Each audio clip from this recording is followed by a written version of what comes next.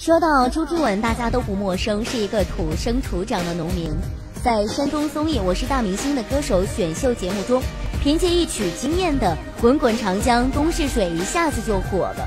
而在大衣哥出名之后，各种商演给大衣哥带来了很多的收入，可是随之而来的也是各种麻烦不断。由于经常在外演出，所以家里陪伴孩子的时间是几乎没有的，所以自己的两个孩子都没有好好的教育。女儿呢也没有在上学，整日赋闲在家；儿子则是打架、抽烟都学会了，没给家里少添麻烦。有一次受节目邀请，朱之文还指着老婆的头发说：“头发也染黄了，还不如不染的。”他在家黑头发看着顺眼。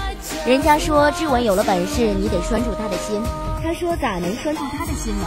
他们说你把你的头发染黄就拴住心了。不过女人毕竟有着自己的小心思。老婆李玉华也一心向着更美丽的目标奋斗。如今李玉华确实变化很大，皮肤都比以前光滑白皙多了。加上适当的包装和西装革履的朱之文在一起也是很般配的。即使如此，两个人还是有不少的分歧。没成名的时候，两个人一起做农活，苦日子一起过，谁都不嫌弃谁。成名之后，妻子对朱之文是埋怨不断，怪朱之文常年在外演出，家里农活就自己一个人干，还要照顾孩子，太过于辛苦，甚至要求朱之文退出娱乐圈。看来成名之后的朱之文，家里的这本金更难念了。